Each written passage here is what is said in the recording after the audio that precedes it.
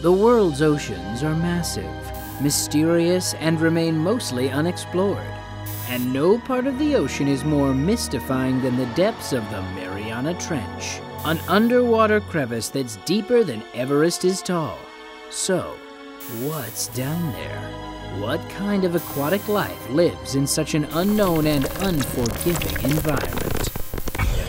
Let's find out in today's episode of Mysteries. About 70% of the Earth's surface is covered with water. Yet the oceans largely remain a mystery for scientists, with more than 90% still completely unexplored. More than 9 out of every 10 animals on Earth live in the water. Yet experts estimate that about two thirds of all ocean creatures have yet to be discovered. In fact, only three people have ever managed to explore the deepest, darkest part of the ocean called the Mariana Trench.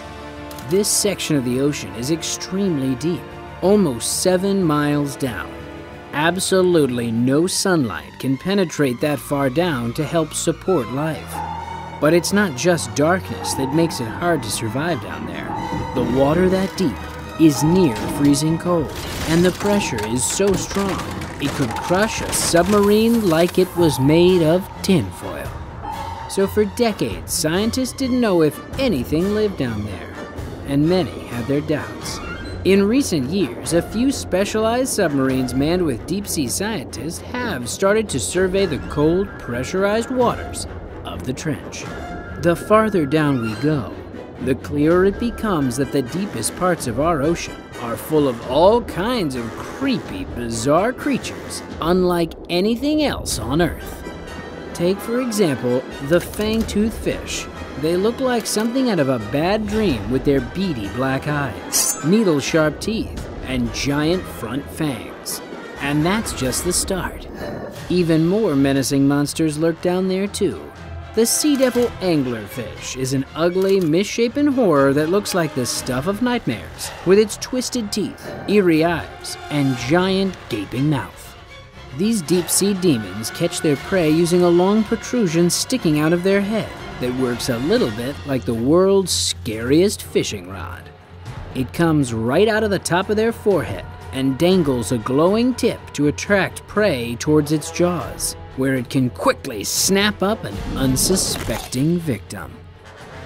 Still not freaky enough for you?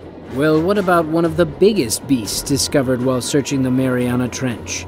This massive creature is called the goblin shark. These hulking monstrosities can grow up to 18 feet long and have an unusual sickly pink hue. Their faces are the true terrors. They have a giant snout that looks a little bit like a broadsword sticking out of their forehead. Below that is a jaw that seems too big to fit inside its mouth, making the goblin shark truly hideous. As these predators age, they begin diving deeper and deeper into the colder, more mysterious waters. Experts and engineers are always trying to develop new technology to explore this treacherous trench and uncover its secrets.